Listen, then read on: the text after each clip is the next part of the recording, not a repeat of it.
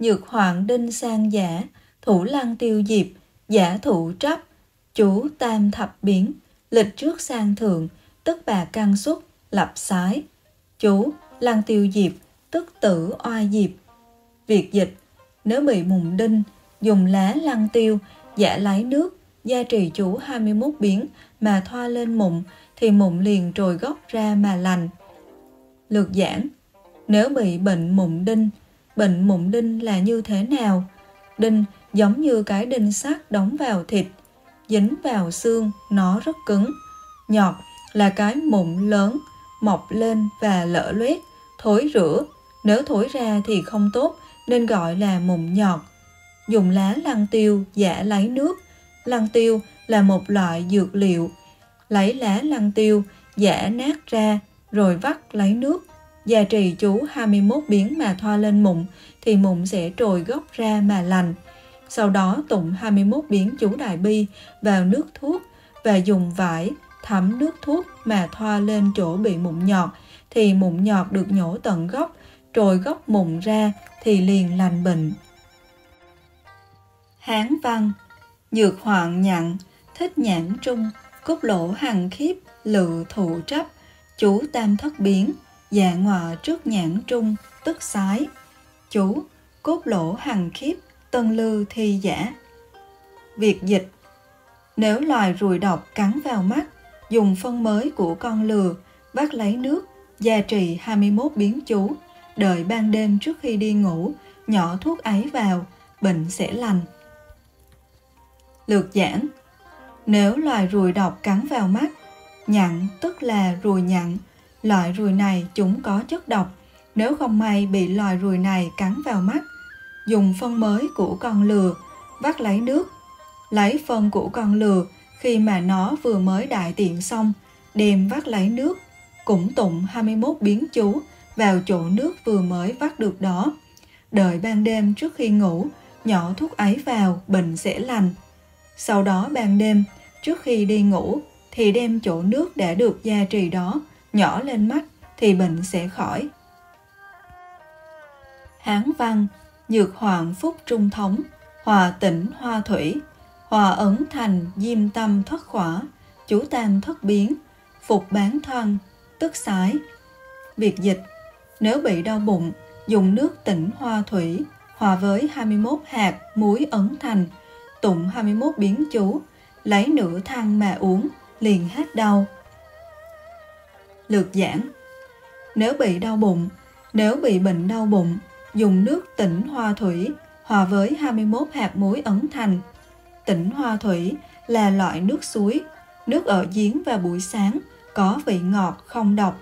hay nước được lấy buổi sáng sớm, đặc biệt lấy nước từ núi, khe suối. Lấy loại nước này hòa với 21 hạt muối, tụng 21 biến chú vào. Sau đó tụng vào nước muối đó 21 biến chú đại bi, lấy nửa thăng mà uống liền hết đau. Lấy nửa thang nước muối, đại khái là khoảng hơn một bát hoặc hơn nửa bát mà uống thì bệnh sẽ khỏi. Nếu không có nước tỉnh hoa thủy thì dùng nước sạch không trùng, không có muối ấn thành thì dùng muối hộp thông thường. Hán văn Nhược hoạn xích nhãn giả Cấp nhãn trung hữu nổ nhục Cấp hữu ế giả Thủ xa xa di diệp đảo lư thủ trấp, chủ tam thất biến, tẩm thanh tiền nhất túc, cánh chủ thất biến, trước nhãn trung tức sái. Chú, xa xa di diệp, cây kỹ diệp giả. Việc dịch Nếu bị bệnh đau mắt đỏ, mắt lồi thịt, mắt có những đốm trắng, dùng lá sa sa di giả nát lấy nước, gia trì chủ 21 biến, rồi bỏ đồng tiền bằng đồng thau vào ngâm một đêm, xong lại lấy ra, tụng thêm vào đáy bảy biến chú nữa. Dùng thuốc này nhỏ vào mắt, bệnh sẽ lành. Chú thích Sa sa di là lá kỷ tử. Lược giảng Nếu bị bệnh đau mắt đỏ, niệm chú đại bi chữa bệnh về mắt rất hiệu nghiệm. Bệnh đau mắt đỏ là mắt có màu đỏ. Mắt vốn hai phần đen trắng phân minh nhưng nay nhiều phần trắng đã chuyển sang màu đỏ. mắt lồi thịt hay trong mắt có một cục thịt nhô ra. Mắt có những đốm trắng, hoặc như trên con người màu đen lại có những đốm màu trắng. Dùng lá sa sa di giả nát lấy nước. Sa sa di là tiếng Ấn Độ, Trung Quốc gọi là kỵ tử, là loại mà người Trung Quốc hay dùng để nấu canh, sau đó giả nát ra, dùng vải xô để lọc lấy nước. Gia trì chủ 21 biến, rồi bỏ đồng tiền bằng đồng thau vào ngâm một đêm. Tụng vào nước đó 21 biến chú đại bi, sau đó bỏ một vài đồng tiền xu bằng đồng thau vào và ngâm qua đêm. Tụng thêm vào đáy bảy biến chú nữa. Sáng hôm sau, lấy tiền xu ra và tụng vào đáy bảy biến chú nữa. Dùng thuốc này nhỏ vào mắt, bệnh sẽ lành. Dùng thuốc này nhỏ lên mắt thì bệnh sẽ khỏi. Hán văn Nhược hoạn úy dạ bất an, khủng bố xuất nhập, kính phà giả, thủ bạch tuyền tác sách, chủ tam thất biến, tác nhị thập nhất kiết, hệ hạn, khủng bố tức trừ, phi đảng trừ bố, diệt đắc diệt tội.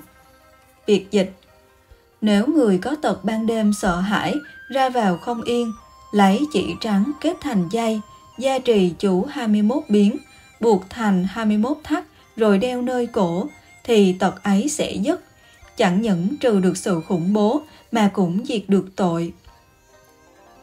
Lược giảng Nếu người có tật ban đêm, sợ hãi ra vào không yên, hoặc giả có người có chứng bệnh sợ bóng tối, nên vào ban đêm thì nỗi sợ lại ập đến. Cho đến đi vệ sinh cũng sợ, vào ban đêm thì luôn nơm nớp lo sợ. Lấy chỉ trắng kết thành dây, tìm một vài sợi chỉ trắng và xoắn chúng thành một sợi dây, ít nhất là 5 sợi. Sợi dây sẽ được kết từ 5 sợi chỉ trắng. Gia trì chú 21 biến, sau đó lại tụng 21 biến chú. Buộc thành 21 thắt rồi đeo nơi cổ. Tiếp đến, buộc sợi dây thành 21 nút, buộc và dùng để đeo nơi cổ. Thì tật ấy sẽ dứt. Làm đúng như thế thì sẽ trừ được tật sợ bóng tối. Chẳng những trừ được sự khủng bố mà cũng diệt được tội. Làm đúng như Pháp, đeo sợi dây ấy nơi cổ, chẳng những sẽ trừ được tật sợ bóng tối, mà còn có thể tiêu trừ được nghiệp chướng, tội lỗi của bản thân. Phần này kinh văn hay giảng giải không đề cập đến tụng hết 21 biến chú rồi buộc sợi dây 21 thắt hay tụng một biến thì buộc một thắt nhưng y theo phần kinh văn trên thì nên tụng trước 21 biến, sau đó lại tụng một biến thì buộc một nút thắt. Hán văn Nhược gia nội hoành khởi tai nạn giả, thủ thạch lựu chi, thốn tiệt nhất thiên bát đoạn, lưỡng đầu đồ tôi lạc mật, nhất chú thiêu, tận thiên bát biến, nhất thiết tai nạn, tất dài trừ diệt, yếu tại Phật tiền tác chi. Việc dịch Nếu trong nhà sanh nhiều tai họa, dùng nhánh cây thạch lựu chặt thành 1080 đoạn, ước độ một tấc. Mỗi đoạn hai đầu đều thoa mật và tô lạc. Sau đó tụng một biến chú, liền đốt một đoạn.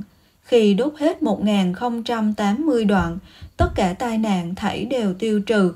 Chú ý phải làm trước tượng Phật. Lược giảng nếu trong nhà sanh nhiều tai họa, giả sử trong nhà thường xuyên xảy ra tai họa, chuyện không như ý như trộm cướp, hỏa hoạn hoặc là nhiều loại tai nạn khác. Dùng nhánh cây thạch lựu chặt thành 1080 đoạn, ước độ một tấc. Lấy một cành gỗ của cây lựu đem chặt thành 1080 đoạn, mỗi đoạn ước chừng một tấc, một tấc bằng khoảng 10 cm. Mỗi đoạn hai đầu đều thoa mật và tô lạc. Hai đầu của mỗi nhánh cây cắt ra đều phải bôi tô lạc và mật ong. Sau đó tụng một biến chú, liền đốt một đoạn. Sau đó cứ tụng xong một biến chú đại bi thì đốt một nhánh cây. Khi đốt hết 1080 đoạn, tất cả tai nạn thảy đều tiêu trừ. 1080 nhánh cây thì tụng 1080 biến chú và đốt 1080 lần. Làm đúng như thế, tất cả tai họa sẽ tiêu trừ. Chú ý, phải làm trước tượng Phật, nhưng phải nhớ là làm trước tượng Bồ Tát Quán Thế Âm nghìn mắt nghìn tay. Ha ha ha,